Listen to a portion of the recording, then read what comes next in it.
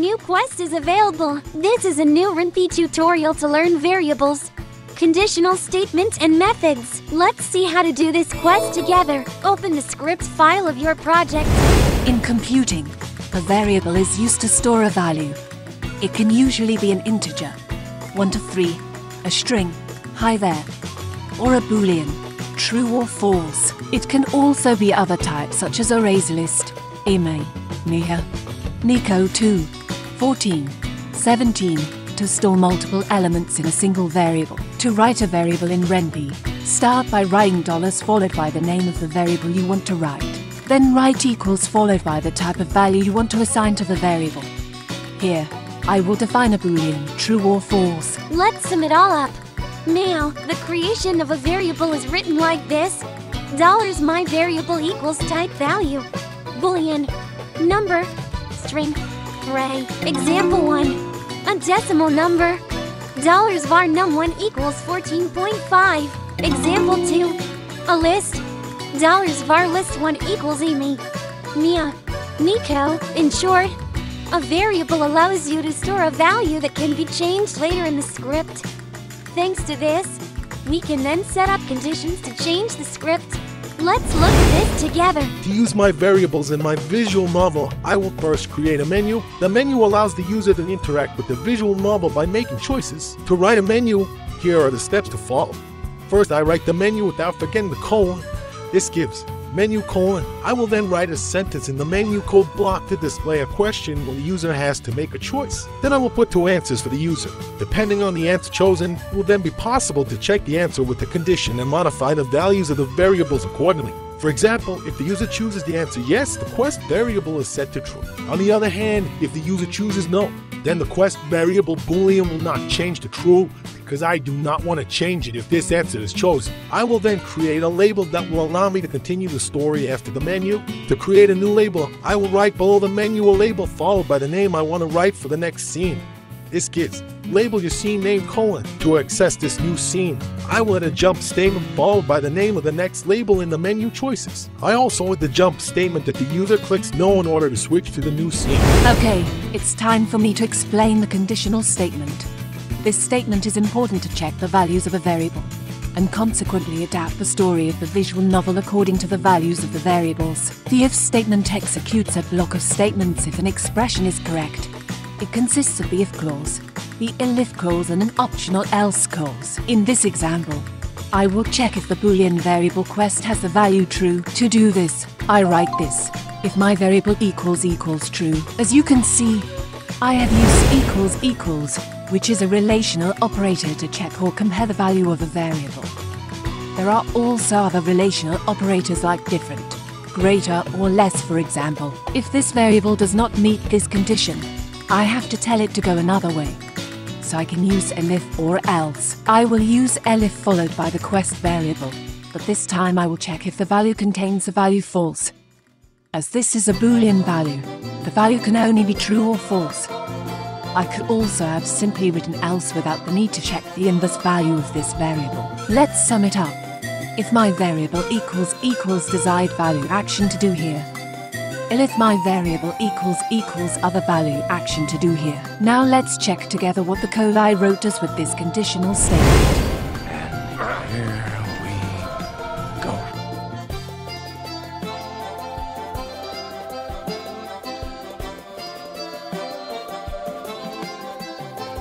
Okay, as we have seen, the text is modified according to the choice the user makes. For this, we use variables and conditions. Let's see in a little more detail how to modify variables according to a condition. For this example, I will use the trophy variable. Trophy equals zero. As we can see, the type of the variable is an integer because it contains a number. In the if condition, I will modify the trophy variable and give it the value 1 because I assume that the quest has been accepted, and therefore that a trophy is unlocked. Then I will display the value of the variable quest in a sentence for this alright.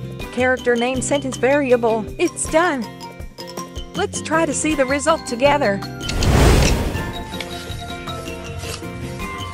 Interesting.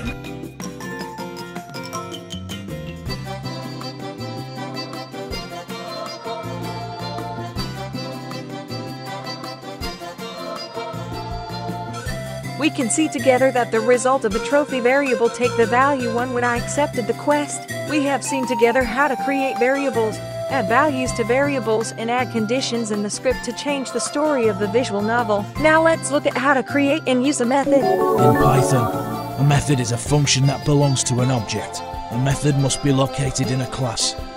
This allows data and functionality to be brought together. Let's look at how to create a method. First I will write init Python, used to define class, functions, configuration variables or persistent data. Then I will write class name heroes in the example. Then I will create a new class by writing class heroes, which will allow me to store a method def underscore underscore init underscore underscore self other parameters. Two underscore are required before init and after init. This gives underscore underscore init underscore underscore between the parenthesis of the method. I will first include self which allows to represent an instance. Then I will write the other parameters. In this example, I imagine that this method would contain the name of the hero, string, its level, integer and if he has a quest to propose, boolean. Then, I will write the same names for the constructor parameters and the attributes. This gives self.name equals name, self.level equals level, self.ofQuest equals of quest. Okay, it's done. Let's see how we could use the method in an object. To do this, I will write this outside the class.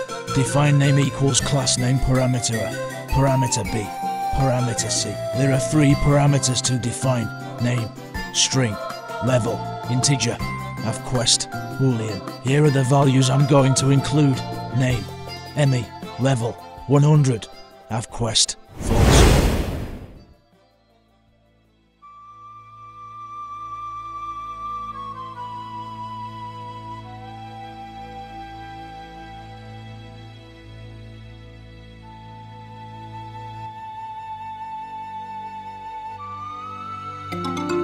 Okay, it's done. Here is the result of the method in a class and of an object using this method. Okay.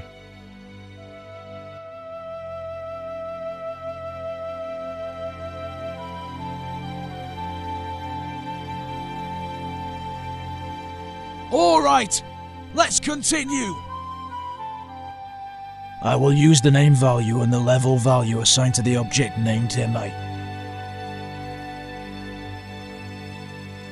My quest will be to display a sentence containing the name and level values of the MA object.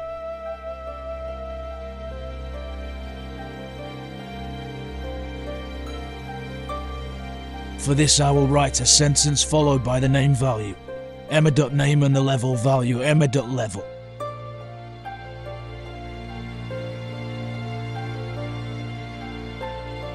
Finally, I will modify the value of emma.level and assign it a new value using the assignment operators. Here I will use plus equals to increase the value of emma.level. At first, I could set the new value of emma.level as soon as the user chooses the answer yes.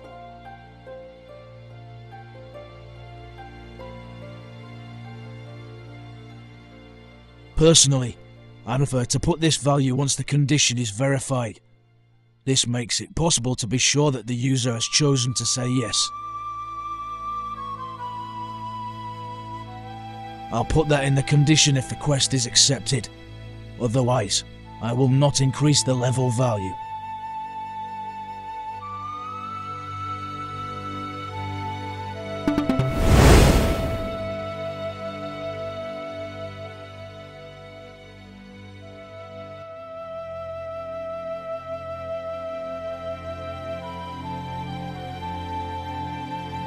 And you know what can be interesting, friends?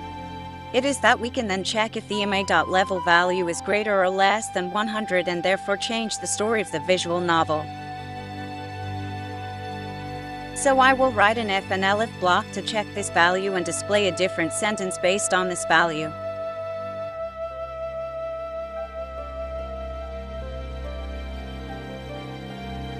If MA.level less than 100, action to do here. Elif MA.level greater than or equals to 100, action to do here.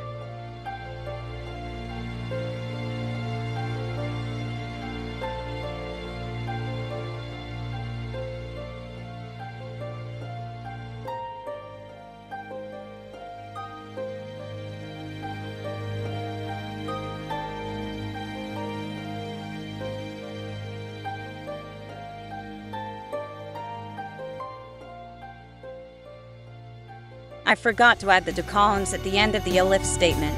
Sorry. I'll add it in a bit.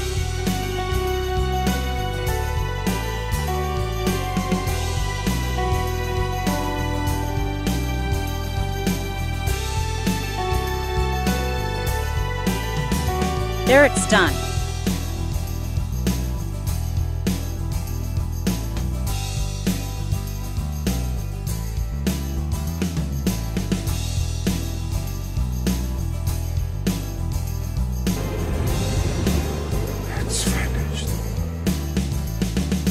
Congratulations!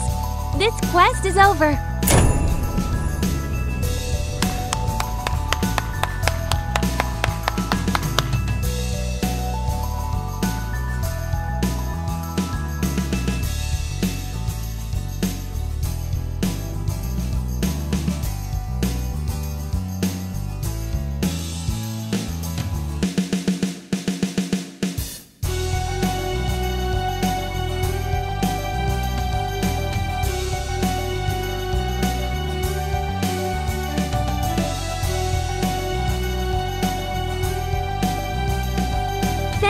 Watching this video.